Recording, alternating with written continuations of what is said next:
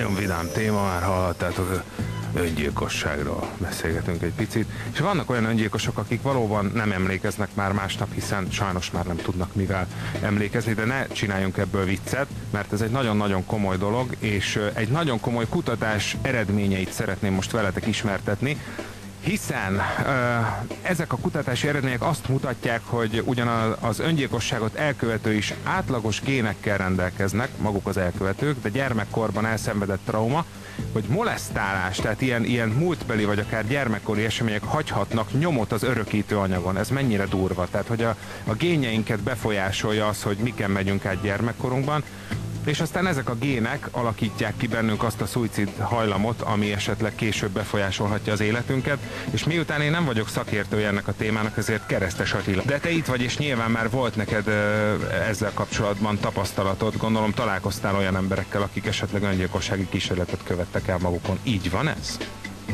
Volt már hasonló eset, ami, ami elég közel. Nem mondom, hogy kísérletet, de elindult a depresszió abba az irányba. Tehát a lényeg az, hogy az öngyilkosság az egy végeredmény nyilván. Tehát van egy előzmény, lehet egy depresszió, lehet egy anhedónia, tehát hogy nem képes az örömre, vagy apátia, hogy ilyen érzelmi üresség, vagy akár egy ilyen önvádlásos doxazmaz, az téveszme, vagy önmagát plusz a családját ilyen szerencsétlen, azt gondolja, hogy szerencsétlenséget hozott rá. A lényeg, hogy, hogy nyilván az ember nem úgy lesz öngyilkos, hogy egyszer csak gondol egyet és az lesz, hanem ennek van egy komoly előzménye és hát tudjuk, hogy a nemzetközi listán mi hatodikak vagyunk, tehát Magyarország, illetve azt érdemes még tudni, hogy a depressziósok 15% a 10 éven belül, hogyha nem kezelik őket, akkor öngyilkos lesz. A hát, statisztikák ezt mutatják. Igen, mondjuk az, az a baj, hogy igen, az öngyilkosok tehát nem jó kedvükből lesznek ilyenek. Van egy ilyen, van egy ilyen zenész vicc is egyébként, nagyon rossz vicc, hogy ma öngyilkos leszek, de holnap nem jó, mert holnap bulim van.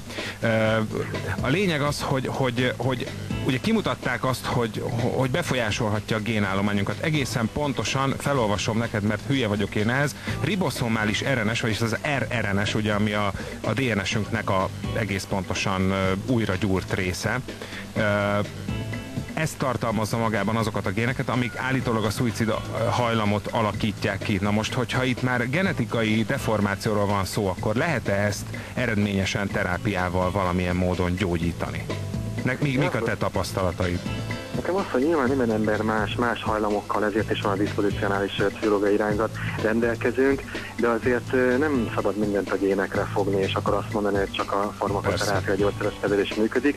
Tény az, hogy elképzelhető, hogy a depresszióra például hajlamosabb valaki, az elképzelhető az öngyilkosságra. Én úgy tudom, hogy erre nincsenek, tehát ilyen kutatások nem bizonyították be, hogy azt lehet úgymond örökölni. Lehet, hogy valaki nyilván más, hogy könnyebben jut el ebbe az irányba.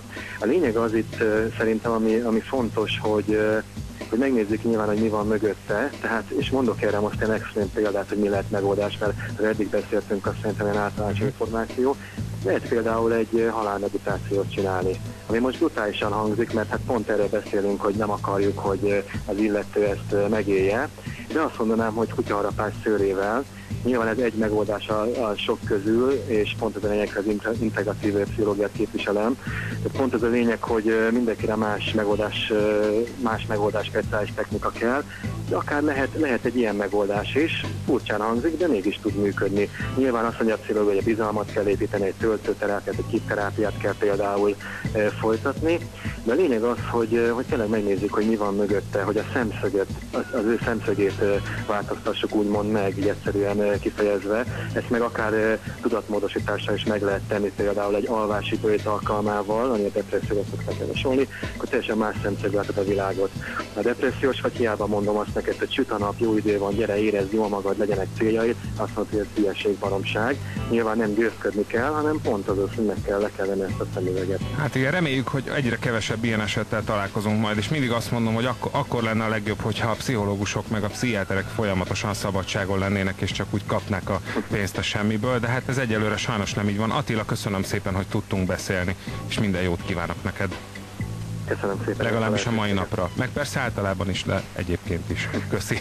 Szia. Köszönöm, köszönöm. Szia. Ő volt tehát Keresztes Attila, és hogyha ilyen pszichiátriai problémáink vannak, akkor őt természetesen fogjuk